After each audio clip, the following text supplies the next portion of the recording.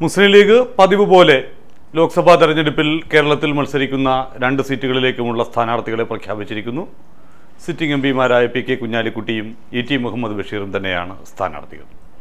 എതിരാളികളെയും ഉറപ്പായി കഴിഞ്ഞു. കുഞ്ഞാലിക്കുട്ടിക്കെതിരെ S F ഐയുടെ ദേശീയ അധ്യക്ഷൻ വി പി സാനുവാണ് മത്സരരംഗത്തിറങ്ങുന്നത്. ഇ ടി മുഹമ്മദ് ബഷീറിനെതിരെ നിലമ്പൂർ എം എൽ എ ആയ പി വി അൻവർ സ്വതന്ത്ര സ്ഥാനാർത്ഥിയായി ഇടതുമുന്നണിക്ക് വേണ്ടി രംഗത്തിറങ്ങുന്നു. ഈ രണ്ട് മണ്ഡലങ്ങളിലും ഇത്തവണ ഇടതുപക്ഷം ചില അട്ടിമറികൾ പ്രതീക്ഷിക്കുന്നുണ്ട്.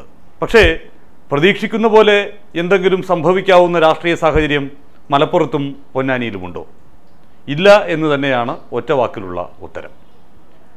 മലപ്പുറത്ത് പി കെ കുഞ്ഞാലിക്കുട്ടിക്ക് വി പി സാനു എന്ന ചെറുപ്പക്കാരന് എത്രമാത്രം വെല്ലുവിളി ഉയർത്താൻ കഴിയും? ഒരു ലക്ഷത്തി എഴുപത്തി ഒന്നായിരത്തിന്റെ ഭൂരിപക്ഷം കുറച്ചു കൊണ്ടുവരാൻ വി പി സാനുവിന് കഴിഞ്ഞാൽ അത് ഒരു നേട്ടമായി ഇടതുമുന്നണിക്ക് ആശ്വസിക്കാം എന്ന് മാത്രം.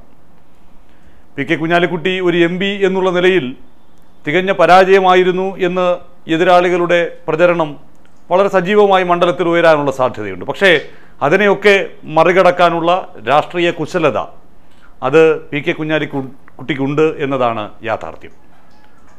തെരഞ്ഞെടുപ്പ് പോരാട്ടത്തിൽ ഒരിക്കൽ തിരിച്ചടിയേറ്റ ആളാണ്. അതുകൊണ്ട് തന്നെ കൃത്യമായ കണക്ക് കൂട്ടലുകളോടെ തെരഞ്ഞെടുപ്പ് അംഗത്തിന് പിന്നീടുള്ള ഘട്ടങ്ങളിലെല്ലാം മുന്നോട്ട് പോകാൻ പി കെ കുഞ്ഞാലിക്കുട്ടിക്ക് സാധിച്ചിട്ടുണ്ട്. അത് ഇത്തവണയും ആവർത്തിക്കും. മറ്റെല്ലാത്തിനും അപ്പുറം പി കെ കുഞ്ഞാലിക്കുട്ടി എന്നുള്ള ഒരു വികാരം മലപ്പുറത്തുണ്ട് എന്ന യാഥാർത്ഥ്യം നമുക്ക് അംഗീകരിക്കാതിരിക്കാൻ കഴിയില്ല.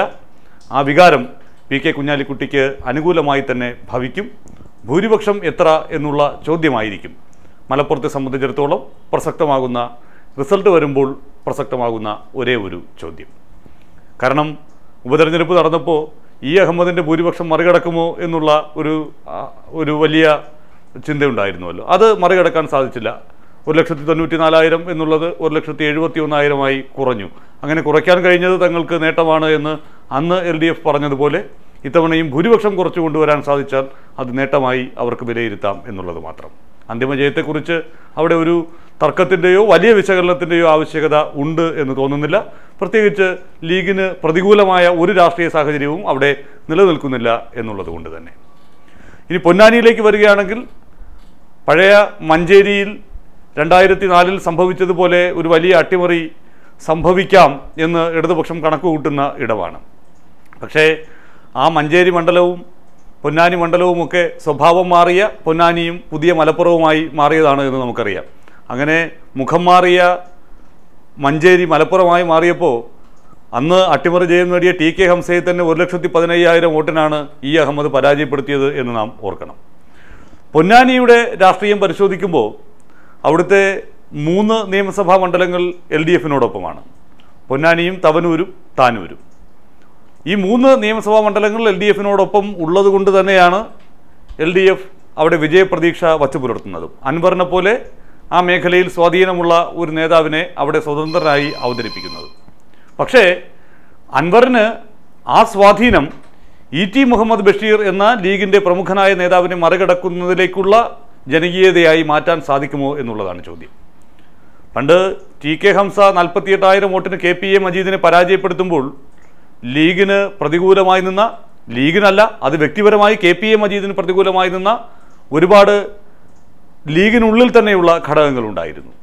ആ ഘടകങ്ങളാണ് അന്ന് ടി കെ ഹംസയ്ക്ക് വിജയം സമ്മാനിച്ചത് എന്ന് മുസ്ലിം ലീഗ് രാഷ്ട്രീയം പരിശോധിക്കുന്ന എല്ലാവർക്കും വ്യക്തമായി അറിയാവുന്ന ഒരു കാര്യവുമാണ്. പക്ഷെ അതിനുശേഷം ഇ ടി മുഹമ്മദ് ബഷീർ അടുത്ത മത്സരത്തിൽ ഹുസൈൻ രണ്ടത്താണി എൺപത്തിരണ്ടായിരം വോട്ടുകൾക്ക് തോൽപ്പിച്ചത് കഴിഞ്ഞ തവണ വി അബ്ദുറഹ്മാൻ എന്ന സ്വതന്ത്രൻ ഇപ്പോഴത്തെ താനൂർ എം എൽ എ. അദ്ദേഹം വന്നപ്പോൾ ഇരുപത്തയ്യായിരമായി കുറഞ്ഞു എന്ന യാഥാർത്ഥ്യമുണ്ട്.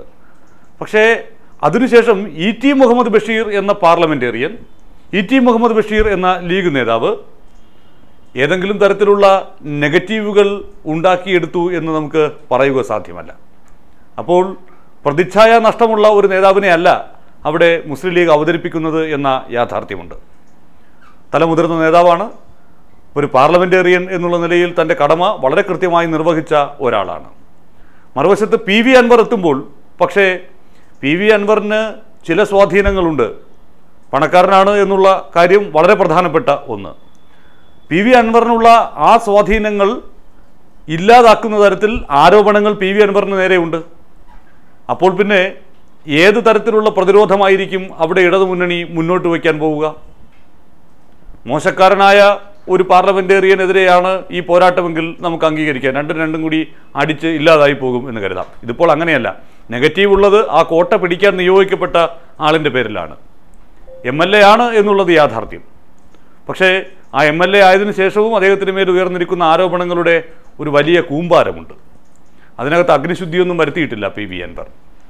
അതുകൊണ്ട് തന്നെ താനൂരിന്റെയും തവനൂരിന്റെയും പൊന്നാനിയുടെയും പിൻബലത്തിൽ അങ്ങനെ എൽ ഡി എഫിന് അനുകൂലമായ ഒരു രാഷ്ട്രീയ സാഹചര്യം ഉണ്ട് എന്ന് വിലയിരുത്താൻ കഴിയില്ല തന്നെ. അതിനപ്പുറം മുസ്ലിം ലീഗ് മുന്നോട്ട് വയ്ക്കുന്ന രാഷ്ട്രീയത്തിന് നേരത്തെ ഞാൻ സൂചിപ്പിച്ചതുപോലെ തൽക്കാലം കേരളത്തിൽ ഒരു നെഗറ്റീവായിട്ടുള്ള ചിന്താഗതിയും ഇല്ലാത്തത് കൊണ്ട് തന്നെ മറ്റ് വേറെ ഏതെങ്കിലും തരത്തിലുള്ള നെഗറ്റീവ് ഇമ്പാക്റ്റ് മുഹമ്മദ് ബഷീർ എന്ന സ്ഥാനാർത്ഥിയുടെ മേലും ഇല്ലാത്തത് കൊണ്ട് തന്നെ പൊന്നാനിയും പി വി അൻവർ എന്ന സ്വതന്ത്രനിലൂടെ കീഴടക്കുക എന്നുള്ളത് പ്രയാസമായിരിക്കും ഇടതുമുന്നണിയെ സംബന്ധിച്ചിടത്തോളം എന്നത് തന്നെയാണ് യാഥാർത്ഥ്യം. മറ്റ് നാല് മണ്ഡലങ്ങളിലും അങ്ങനെ മൃഗീയമായ ഭൂരിപക്ഷമൊന്നുമല്ല മുസ്ലിം ലീഗിനുള്ളത് എന്നതൊക്കെ ശരി. പക്ഷേ E T Muhammad Basheer P V Anvar. ഈ രണ്ടുപേരുടെയും താരതമ്യം കഴിഞ്ഞ തവണ അന്ന് കെ പി സി എക്സിക്യൂട്ടീവ് അംഗമായിരുന്ന അബ്ദുറഹ്മാനെയാണ് സി പി എം സ്വതന്ത്ര സ്ഥാനാർത്ഥിയായി അവതരിപ്പിച്ചത്. അന്ന് ലീഗും കോൺഗ്രസും തമ്മിൽ അവിടെയുള്ള പല മേഖലകളിലും നിലനിന്നിരുന്ന വലിയ രൂക്ഷമായ പ്രതിസന്ധിയുണ്ട്. അങ്ങനെ ഈ കുഞ്ഞാലിക്കുട്ടിയുടെ ഭാഷയിൽ പറഞ്ഞാൽ ഈ അവിയൽ മുന്നണിയൊക്കെ അവിയൽ സഖ്യമൊക്കെ ഉണ്ടായ കാലമാണ്. പല തരത്തിൽ തദ്ദേശ ഭരണ തെരഞ്ഞെടുപ്പിൽ അങ്ങനെയുള്ള സഖ്യങ്ങളുണ്ടായിരുന്നു ആപ്പിളും കണ്ണാടിയുമൊക്കെയായി സ്ഥാനാർത്ഥികൾ മത്സരിക്കുന്ന സാഹചര്യം സി പി എമ്മുകാരും കോൺഗ്രസ്സുകാരും ഏതാണ് എന്ന് തിരിച്ചറിയാൻ പറ്റുന്നില്ല. എസ് ഡി പി ഐയും ഒക്കെ ഒരുമിച്ച് നിന്ന് ലീഗിനെതിരെ മത്സരിക്കുന്ന സാഹചര്യം ഇപ്പോഴും പലയിടങ്ങളിലും അങ്ങനെ ഭരണം നടക്കുന്നുമുണ്ട്. പക്ഷെ അതിനൊക്കെ അപ്പുറത്തേക്ക് ഇതൊരു പാർലമെന്റ് തിരഞ്ഞെടുപ്പ് എന്നുള്ള വളരെ കൃത്യമായ കണക്ക് ഉണ്ടാകുമ്പോൾ പ്രാദേശിക പ്രശ്നങ്ങൾ പറഞ്ഞു തീർക്കാൻ ലീഗിന് സാധിച്ചിട്ടുണ്ട് എന്നുള്ളത് കൊണ്ട് തന്നെ ഇ ടി മുഹമ്മദ് ബഷീറിന്റെയും കുഞ്ഞാലിക്കുട്ടിയുടെയും വിജയം സുനിശ്ചിതമാണ് എന്ന് ഈ പ്രാഥമിക വിലയിരുത്തലിൽ ഈ രണ്ട് പ്രമുഖ സ്ഥാനാർത്ഥികളെയും വ്യക്തമായിരിക്കുന്ന സാഹചര്യത്തിൽ നമുക്ക് ഉറപ്പിച്ച് പറയാൻ കഴിയും.